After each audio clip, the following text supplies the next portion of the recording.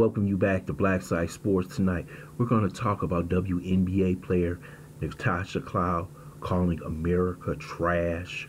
First, I would like for you to subscribe to this channel, hit that like button, hit that notification button, but also comment on this video. If anybody wonder why the WNBA is the most unpopular league in America, just look at what their players are saying. Natasha Cloud said that America was trash after a Supreme Court decision that went against the LGBTQI community. She actually said it, a country that's giving you an opportunity to play sports or professional sports and make a lot of money. But America is trash. Because a Supreme Court decision did not go this way, if it's trash, go somewhere else where you can live that is so perfect, but you still here in America.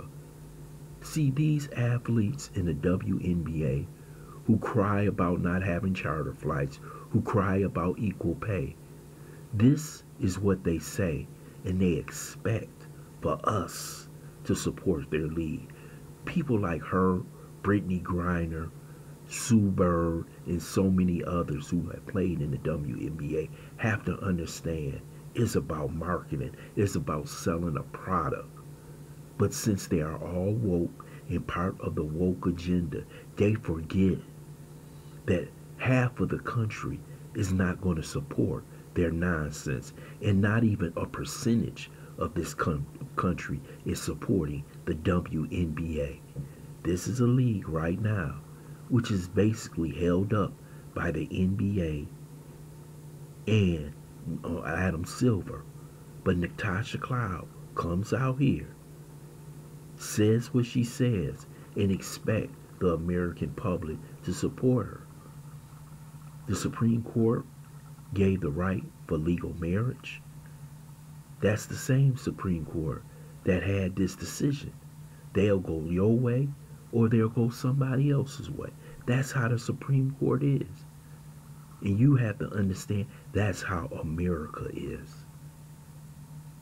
You still have the right to do whatever you want to do.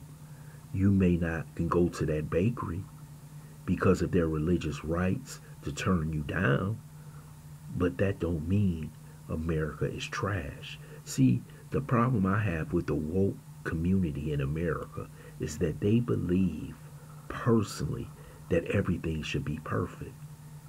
It's not going to be perfect. It's not going to be perfect for the LGBTQI community, the black community, the Asian community, the Jewish community. But this is what they want constant, constant agitation. So she actually thinks that people who go to her Twitter account, those who happen to be on the left, those who happen to be on MSNBC, yes, they will support her. But the people that you need to make your league popular is not coming to your games. The people that you need to raise your salary is not coming to your games. The people you need to support this league is not coming to your games because of this type of attitude. And this has been fostered by our politics.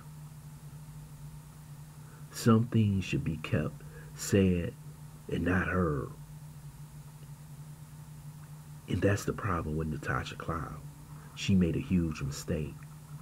And this mistake is going to cost the WNBA. They just had Brittney Griner over in Russia. She finally stands for the national anthem. But here's Natasha Cloud coming up, destroying whatever little credibility that this league has with the American public.